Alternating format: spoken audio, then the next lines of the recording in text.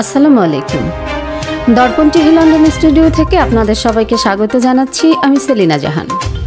আজ মঙ্গলবার, এগারো জানুয়ারি দুই হাজার বাইশ সাল, বাংলা সাতাশ পৌষ চোদ্দোশো আটাশ সন, আরবি সাত জমাদিয় সানি চোদ্দোশো তেতাল্লিশ হিজড়ি প্রথমেই থাকছে আজকের খবরের শিরোনাম। মাদার টেরেসার দাতব্য সংস্থার ব্যাপারে সিদ্ধান্ত বদল করেছে ভারত সরকার।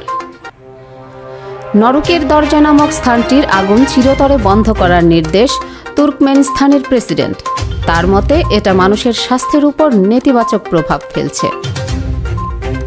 নির্বাচনী প্রতিশ্রুতি হিসেবে মাথায় চুল গজানোর খরচ দেয়া হবে বলে ঘোষণা দিয়েছেন একটি দেশের প্রেসিডেন্ট পদপ্রার্থী। বাবা ছেলের কারিশ্মা। পরপর নির্বাচনে জয়লাভ করে এক নাগারে আঠাশ বছর দায়িত্ব পালন। একসঙ্গে একটি গাভীর তিনটি বাছুর প্রসব করায় তা দেখতে উৎসুক জনতার ভিড় লেগেই আছে জামালউদ্দিনের বাড়িতে। এবার থাকছে বিস্তারিত। মাদার তেরেসার প্রতিষ্ঠিত দাতব্য সংস্থায় বিদেশি অনুদান পাওয়ার লাইসেন্স স্থগিত করেছিল ভারত সরকার। এখন সে সিদ্ধান্ত থেকে সরে এসেছে তারা। অর্থাৎ সংস্থাটি আগের মতোই বিদেশি অর্থ পাবে। মিশনারিজ অফ চ্যারিটি নামের ওই সংস্থাটি ভারতে পরিত্যক্ত শিশুদের জন্য হোম ছাড়াও অনেক স্কুল ও হাসপাতাল পরিচালনা করছে। গত শনিবার এনডিটিভির এক প্রতিবেদনে এ তথ্য জানানো হয়। জানা গেছে, যেসব বেসরকারি স্বেচ্ছাসেবী সংস্থা বিদেশি অনুদান পায়, দেশটির কেন্দ্রীয় স্বরাষ্ট্র মন্ত্রণালয়ের পক্ষ থেকে তাদের বিদেশি অনুদান পাওয়ার ছাড়পত্র একত্রিশ মার্চ দুই হাজার বাইশ পর্যন্ত বাড়ানো হয়েছিল। কিন্তু এ সময় সেই তালিকা থেকে বাদ পড়েছিল মাদার তেরেসার মিশনারিজ অফ চ্যারিটি। এমত অবস্থায় একসময় সংস্থাটির অ্যাকাউন্ট জব্দ করারও অভিযোগ উঠেছিল। যদিও শনিবার সেই তালিকায় মাদার তেরেসার সংস্থাকে ফেরানো হয়েছে। এই সিদ্ধান্তের মাধ্যমে দুই সপ্তাহ পরে বিদেশি অনুদান পাওয়ার যোগ্যতার তালিকায় ফেরানো হলো পৃথিবীর বিখ্যাত স্বেচ্ছাসেবী এ সংস্থাটিকে। গত বছরের পঁচিশ ডিসেম্বর সংস্থাটির এফসিআরএ লাইসেন্স নবায়ন করা হবে না বলে জানিয়েছিল কেন্দ্রীয় সরকার। এরপর চরম অস্বস্তিতে পড়ে স্বেচ্ছাসেবী সংস্থাটি। স্বরাষ্ট্র মন্ত্রণালয়ের পুনর্বিবেচনায় সেই সমস্যার সমাধান হলো।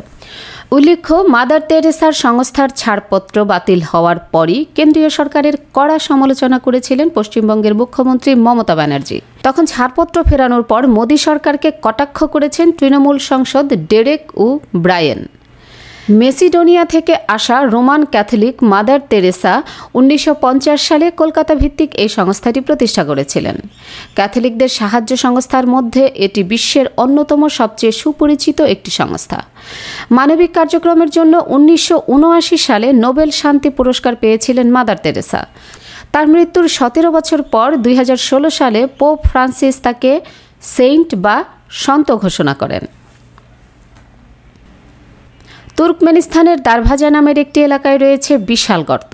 সেই গর্ত থেকে দিনরাত জলে আগুন। তাই এ স্থানটি নরকের দরজা নামে ব্যাপক পরিচিত। সাথে সাথে পর্যটকদের কাছে স্থানটি দারুণ জনপ্রিয়।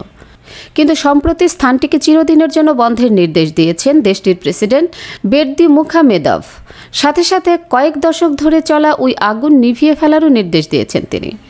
মার্কিন সংবাদ মাধ্যম সিএনএনের এক প্রতিবেদনে বলা হয়েছে, গত শনিবার তুর্কমেনিস্তানের প্রেসিডেন্ট বেরদি মুখা মেদভ স্থানীয় টেলিভিশনে দেওয়া এক বক্তব্যে আরও বলেন, আমরা অনেক মূল্যবান প্রাকৃতিক সম্পদ হারাচ্ছি। এই সম্পদ থেকে আমরা উল্লেখযোগ্য মুনাফা অর্জন করে জনগণের কল্যাণে কাজে লাগাতে পারি। কিন্তু এ আগুনের কারণে পরিবেশ ও এর আশপাশে বসবাস করা মানুষের স্বাস্থ্যের উপর নেতিবাচক প্রভাব পড়ছে। নরকের দরজা খ্যাত এ জায়গাটি তুর্কমেনিস্তানের রাজধানী থেকে প্রায় দুইশো ষাট কিলোমিটার উত্তরে অবস্থিত। গর্তটি একশো নব্বই ফুট প্রশস্ত এবং সত্তর ফুট গভীর।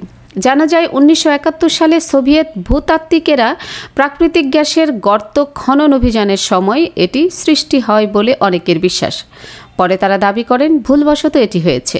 তবে এখন পর্যন্ত এর সঠিক কারণ কেউ বলতে পারেনি স্থানীয় ভূতাত্ত্বিকদের ধারণা, উনিশশো ষাট সালের দিকে এই গর্ত তৈরি হয় এবং উনিশশো আশি সাল থেকে এখানে আগুন জ্বলতে শুরু করে। নির্বাচনের আগে প্রার্থীরা ভোটারদের নানা প্রতিশ্রুতি দেন। কেউ হয়তো কর্মসংস্থান সৃষ্টির ঘোষণা, কেউ বা রাস্তাঘাট, স্কুল, কলেজ, হাসপাতাল গড়ে তোলার ইত্যাদি।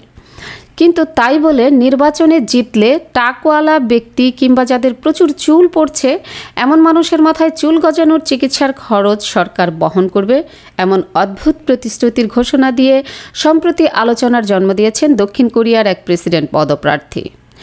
ওই প্রার্থীর নাম লি জায়ে মং তিনি দক্ষিণ কোরিয়ার ক্ষমতাসীন ডেমোক্রেটিক পার্টি অফ কোরিয়া থেকে প্রেসিডেন্ট নির্বাচনে লড়ছেন। আগামী মার্চে দেশটিতে পরবর্তী প্রেসিডেন্ট নির্বাচন হওয়ার কথা রয়েছে। মার্কিন সংবাদ মাধ্যম সিএনএন এর এক প্রতিবেদনে বলা হয়েছে, গত সপ্তাহে লি জায়ে মং নির্বাচনে জিতলে তিনি দেশের জনগণের জন্য বিশেষ স্বাস্থ্য বিমা চালু করার অংশ হিসেবে এ ঘোষণা দেন। ক্ষমতাসীন দলের প্রেসিডেন্ট পদপ্রার্থীর এই ঘোষণার পরপরই দেশটির ভোটারদের মধ্যে হাস্যরসের জন্ম দেয়। তবে লি জায়ে মং বলেন, দক্ষিণ কোরিয়ায় প্রায় এক কোটি মানুষ চুল ঝরে পড়ার সমস্যায় ভুগছেন। চুল গজানোর চিকিৎসায় খরচ অনেক বেশি। অনেক সময় বিদেশ থেকে ওষুধ, চিকিৎসা সরঞ্জাম কিনে আনতে হয়। তাই অনেকে ইচ্ছা থাকা সত্ত্বেও উচ্চ ব্যয়ের এই চিকিৎসা করাতে পারেন না। লি জায়ে মংয়ের এই ঘোষণার পর জিয়ং দ্য ইউন নামের একজন বলেন মাথায় চুল গজানোর জন্য ছয় মাসের চিকিৎসা। ভালো মানের শ্যাম্পু কিনতে তিন হাজার ডলারের বেশি খরচ হয়। তাই সরকার যদি এই খরচ বহন করে, তাহলে ভালোই হবে। তবে অনেকের মতে এটা ভোটারদের নিজের পক্ষে টানার সহজ ও সস্তা কৌশল। আসলে সেটা প্রচারণা মাত্র। একটা প্রবাদ আছে, বাপকা বেটা আর সিপাইকা ঘোড়া। অর্থাৎ যেমন পিতা, তেমন পুত্র। এ প্রবাদের সাথে মিলিয়ে অনেকে অনেক উদাহরণ দিয়ে থাকে বা কার্যসিদ্ধির কথা বলে থাকেন। তবে সম্প্রতি দেশের ব্রাহ্মণবাড়িয়া সদর উপজেলার এগারো নং সুলতানপুর ইউনিয়ন পরিষদ নির্বাচনে উনিশশো চুরানব্বই সাল থেকে দুই হাজার বাইশ পর্যন্ত পরপর সাতটি নির্বাচনে চেয়ারম্যান পদে কোনো সময় বাবা, আবার কোনো সময় ছেলে নির্বাচিত হয়ে তারা বিরল দৃষ্টান্ত স্থাপন করেছেন। খোঁজ নিয়ে জানা যায়, বিশিষ্ট শিল্পপতি, রাজনৈতিক ব্যক্তিত্ব ও দানবীর ফিরোজুর রহমান উলি ও তার ছেলে শেখ উমর ফারুক এ সাফল্য দেখিয়ে এলাকায় চাঞ্চল্য সৃষ্টি করেছেন। এ ইউনিয়নে ফিরোজুর রহমান উনিশশো চুরানব্বই সাল থেকে দুই হাজার ষোলো সাল পর্যন্ত পরপর পাঁচবার সরকারি ভোটে নির্বাচন করে চেয়ারম্যান নির্বাচিত হন। এরপর তিনি দুই হাজার উনিশ সালে ব্রাহ্মণবাড়িয়া সদর উপজেলা পরিষদ চেয়ারম্যান নির্বাচনে অংশগ্রহণ করেও নির্বাচিত হন। এরপর তার ছেলে, বাবার ছেড়ে দেয়া সুলতানপুর ইউনিয়ন পরিষদে দুই হাজার উনিশ ও দুই হাজার বাইশ সালে অংশ নিয়ে নৌকা প্রতীকে বিশাল ভোটের ব্যবধানে নির্বাচিত হন। উল্লেখ্য, এবারের দুই হাজার বাইশ সালের নির্বাচনে শেখ ওমর ফারুক নৌকা প্রতীকে নির্বাচন করে নিকটতম প্রার্থীর থেকে এক ভোট বেশি পান।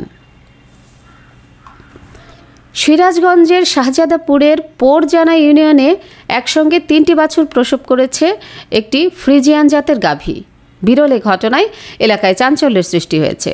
বাছুর তিনটিকে দেখতে উৎসুক মানুষ ভিড় করছেন। এ গাভীটির মালিক পোরজনা ইউনিয়নের বড় বাচ্চিরা গ্রামের ফকিরচাঁদ প্রামাণিকের ছেলে দিনমজুর জামাল হোসেন।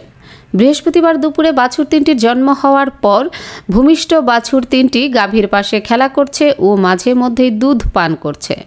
তবে বাছুরগুলোর পাশে কেউ গেলেই গাভীটি তেড়ে আসছে।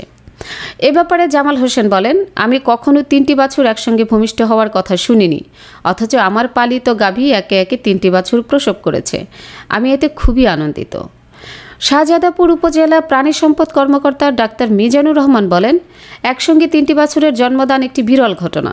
বিষয়টি জানার পরপরই আমি জামাল হোসেনের বাড়িতে গিয়ে বাছুর তিনটি দেখে এসেছি।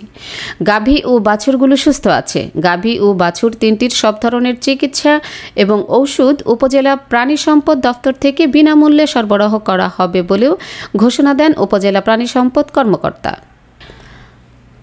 সুপ্রিয় দর্শক, এই ছিল আমাদের আজকের আয়োজন। আশা করছি দর্পণ টিভি ইউকে চ্যানেলটি সাবস্ক্রাইব, লাইক ও কমেন্ট করে আমাদের পাশেই থাকবেন। আল্লাহ হাফেজ।